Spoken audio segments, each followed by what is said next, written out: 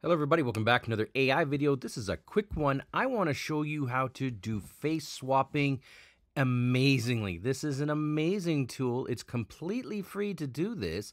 I'm going to show you how to do this. It took me about 60 seconds to do, and I've got the images loaded here. On the left side, we've got Lionel Messi, and below him, we've got Ronaldo, and then we did the face swap, and look at this face swap. I've got these images open so you can see them.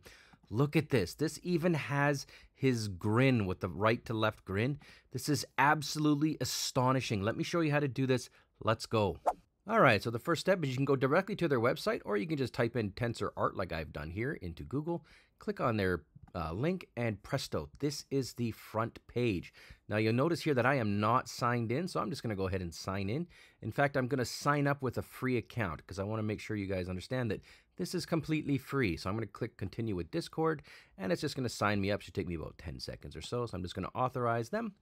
And let's go. Let's get cooking. Now, the next step is you want to go to the left side, click on AI Tools. Under AI Tools, this can be a little bit uh, overwhelming if you're not familiar with all of this type of stuff. So what I like to do is I just click on this Explore button and then I go to Trending. And under trending, you're going to see this one that's called swap face.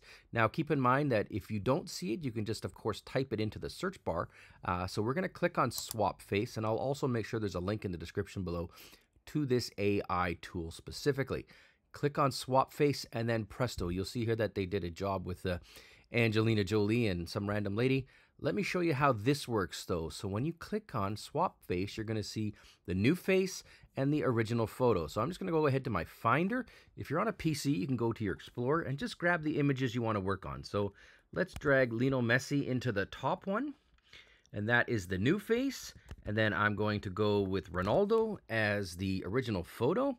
And then watch this. And do look at this here. This is gonna take point 32 credits. So I have a 100 free credits today.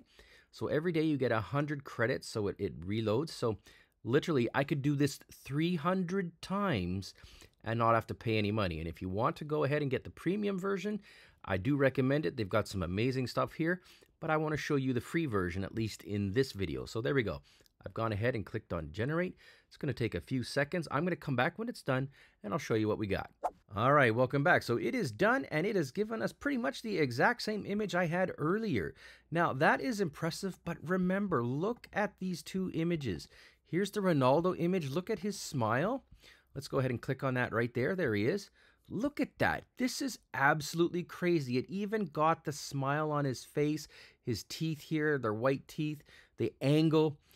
Insane completely free. Links in the description below. Below, pardon me. Give it a try. You'll love it. Thanks for watching.